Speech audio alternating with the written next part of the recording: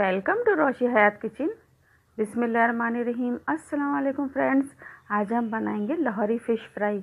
बहुत ही मज़े की बनती है और बहुत ही जल्दी बन जाती है ये। और इसको आप स्टोर करके भी रख सकते हैं मैरिनेट करने के बाद में। तो ये और भी टेस्टी लगती है। तो मेरी इस रेसिपी को आप ज़रूर ट्राई कीजिए।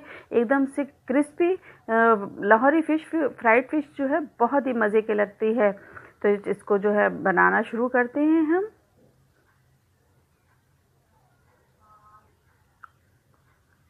तो देखिए, इसको बनाने के लिए मैंने यहाँ पर फ़िश ली है, मछली इसको अच्छे से वॉश कर लिया है। वॉश करने के बाद में एक स्टेनर के ऊपर रख दिया। मैंने यहाँ पर तकरीबन डेढ़ किलो मछली का यूज़ किया है और स्टेनर पे रखने के बाद में जब इसका पानी पूरी तरह सूख एकदम ड्राई हो गई तो अब हमें इसे हमने निकाल लिया।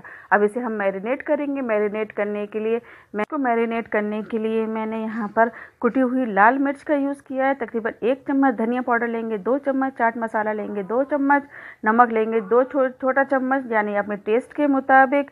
चाट मसाला लेंगे दो चम्मच, ज़ीरा पाउडर लेंगे दो चम्मच, हल्दी पाउडर लेंगे एक चम्मच और लाल मिर्च का पाउडर लेंगे एक बड़ा चम्मच। इसमें हम अजवाइन डालेंगे और एक एक छोटा चम्मच और ज़ीरा और जो कसूरी मेथी डालेंगे एक बड़ा चम्मच। नींबू का रस लेंगे, यहाँ पर मैंने एक पूरे नींबू का यूज़ किया है लहसुन और अदरक का पेस्ट लेंगे दो चम्मच। और यहाँ पर मैंने इसकी बाइडिंग के लिए मैं अच्छी, मैंने बेसन लिया है। तकरीबन आधा कप और इसमें बहुत अच्छा सा कलर देने के लिए हम फ़ूड कलर का यूज़ करेंगे। वैसे ही ऑप्शनल है, लेकिन आप डालेंगे तो इससे कलर बहुत अच्छा आ जाता है। इन सबको हम मिक्स करेंगे और उसके बाद में हम यहाँ पर पानी का यूज़ करेंगे। आधा कप पानी का मैंने यहाँ पर यूज़ किया है और इसको हम अच्छे से मिक्स कर लेंगे, जिससे सारा सामान पानी में और सब में बहुत अच्छे से मिक्स हो जाए। देखिए, सब चीज़ें इसमें बहुत अच्छे से मिक्स हो गई हैं, कितना बढ़िया कलर आ गया है इसका, और अब इसे हम मैरिनेट करेंगे। तो उसके लिए मैंने यहाँ पर फ़िश ले ली है। फ़िश को मैं बहुत अच्छे से इसमें हम एक एक पीस डालते हुए इसमें अच्छे से हम मैरिनेट कर देंगे।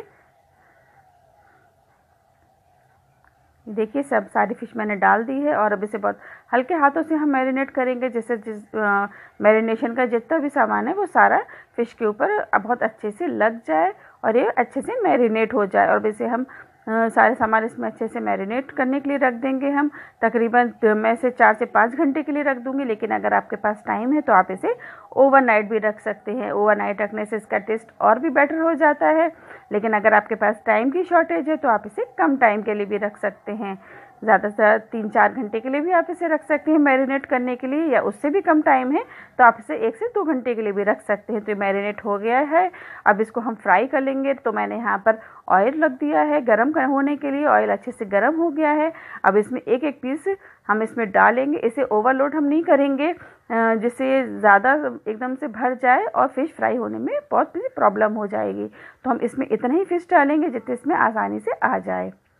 और देखिए एक तरफ़ से फ़िश को हम फ्राई होने देंगे, तकरीबन दो मिनट के लिए हम फ्लेम को हाई पर रखेंगे और उसके बाद में फ्लेम को हम लो पे कर देंगे, तकरीबन तीन से चार मिनट के लिए, जिससे अंदर तक से बहुत अच्छे से गल जाए फ़िश हमारी। और तीन से चार मिनट के बाद में हम इसको पलट देंगे। और ऐसा करने से इसके अंदर जो मॉइस्चर होता है, वो एकदम से लॉक हो जाता है। देखिए, इसको हम दोनों तरफ़ से फ्राई कर लेंगे और तीन चार मिनट के बाद में हम फ्लेम को एकदम हाई पर कर देंगे एक बहुत अच्छा सा कलर देने की और फ़िश को क्रिस्प होने के लिए। तो दोनों तरफ़ से हम यही प्रोसीजर करेंगे और देखिए कितना बढ़िया कलर आ गया है इस पर फ़िश हमारी बहुत फ्राई हो गई है बहुत अच्छे से और इसको अब हम सर्व करेंगे।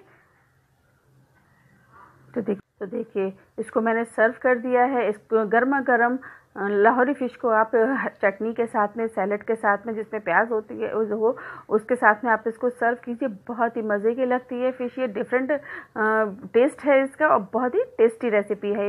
मेरी रेसिपी अगर आपको पसंद आती है तो प्लीज़ मेरे वीडियो के नीचे जो थम्सअप का बटन है, उस पर क्लिक कीजिए और अगर अभी तक आपने मेरे चैनल को सब्सक्राइब नहीं किया है तो साथ वाला रेड बटन दबाकर मेरे चैनल को सब्सक्राइब भी कीजिए और इसके साथ ही बेल आइकन के बटन पर भी क्लिक कीजिए। अपना एक्सपीरियंस कमेंट बॉक्स में ज़रूर शेयर करें। दुआओं में याद रखें। aqui. Allah Hafiz!